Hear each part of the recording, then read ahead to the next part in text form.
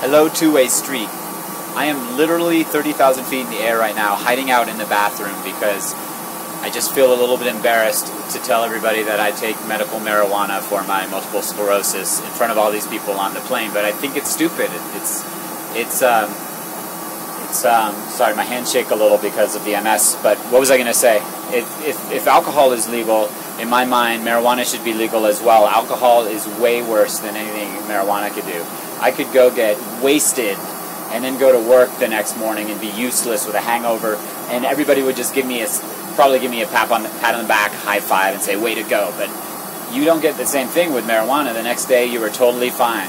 So it's just people stay with what they learn, and people were taught that marijuana is bad, but for some reason alcohol is okay, and they're both a drug. And if alcohol is fine, marijuana should be fine too.